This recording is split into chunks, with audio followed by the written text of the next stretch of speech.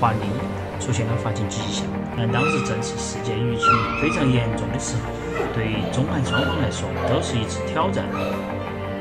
第一次生产，第一次怀孕，第一次要当妈妈，她没有经验。不是产仔，这个情绪呢就不很稳定。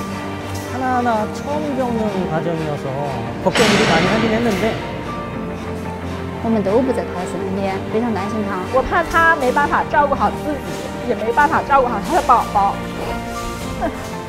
华丽的疫情也牵动着中韩双方很多人心。